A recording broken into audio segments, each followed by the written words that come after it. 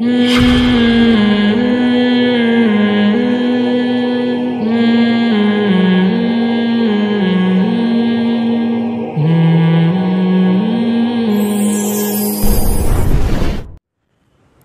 ये बात बच्चे बैठे हुए ना, माशाल्लाह बड़े प्यारे प्यारे से। इनको देख के एक बात जहन में आई थी। ये फैमिली प्लानिंग वाले जब भी कहते हैं ना, बच्चे दो ही अच्छे।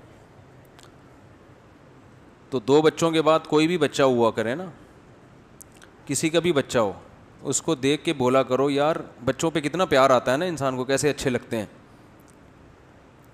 बच्चे तो सारे ही अच्छे होते हैं ना, वो तो जब बालिग होते हैं, फिर कुछ अच्छे, कुछ बुरे। बचपन में तो इंसान आमाल का मुकल्लफ नहीं होता। तो कोई भी बच्चा नज़र आया करे, उसे देख के सोचा करो, यार, इसमें कौन सी ऐसी चीज़ है जिसको देख के हम ये कहें कि ये ना होता तो अच्छा था?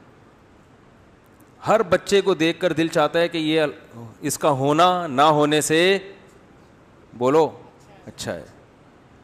जिस भी बच्चे को आप देखोगे ना, आपका दिल कहेगा, यार, इसका हो जाना ना होने से बेहतर है। तो इंसान का पैदा होना, ये पैदा ना होने से बहरहाल बेहतर है। हाँ जब बड़े हो जाते हैं, फिर उनमें कोई चोर होते हैं, कोई नेक होते हैं तो चोरों को देख के दिल करता है कि ये ना होते तो अच्छा था। क्या ख्याल है? तो बच्चे तो माशाल्लाह सारे ही प्यारे होते हैं।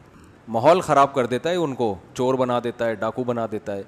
तो इसका ये मतलब नहीं है कि बच्चों को पैदा ना किया जाए, इसका मतलब है माहौल को सही करने की कोशिश की जाए। समझते होगे नहीं समझते? तो वो भी यही बच्चे सही करेंगे, बड़े होकर। तो भी पैदा होंगे तो करेंगे ना? ठीक है ना? पैदा ही नहीं होंगे तो कहाँ से करेंगे?